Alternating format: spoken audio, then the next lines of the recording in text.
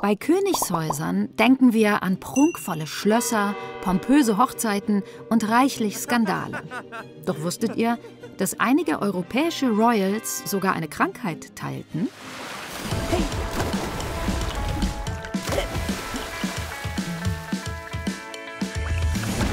Früher galt es als besonders wichtig, die Blutlinien europäischer Königshäuser rein zu halten. Das bedeutete vor allem eins, fleißig untereinander heiraten. Leider führten diese familiären Bindungen zu einer unschönen Gemeinsamkeit. Eine seltene, meist erbliche Blutgerinnungsstörung, die damals auch als königliche Krankheit bezeichnet wurde. Heute ist sie als Bluterkrankheit oder Hämophilie bekannt und kann auch ganz ohne innerfamiliäre Hochzeiten vererbt werden.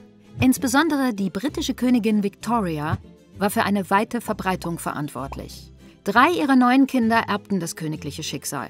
Und als diese in andere Königshäuser einheirateten, kam es, wie es kommen musste. Total Annihilation. Naja, nicht ganz. Aber die Folgen waren weitreichend. Das Drama spitzte sich zu, als Victorias Enkelin Alexandra sich mit dem ältesten Adelsgeschlecht Russlands verband, der Zarenfamilie Romanow. Ihr Sohn, Thronfolger Alexei, erbte die Hämophilie seiner Urgroßmutter und verbrachte sein Leben in Watte verpackt. Kein Wunder, jegliche Verletzung konnte damals sein Ende bedeuten. Inzwischen machte sich ein Geistheiler in St. Petersburg einen Namen. Rasputin erlangte schnell die Aufmerksamkeit von Alexandra und damit direkten Zugang zu den Romanows. Als Alexei sich eines Tages verletzte, betete Rasputin statt zu behandeln. Und siehe da, Alexeis Wunde hörte bald auf zu bluten.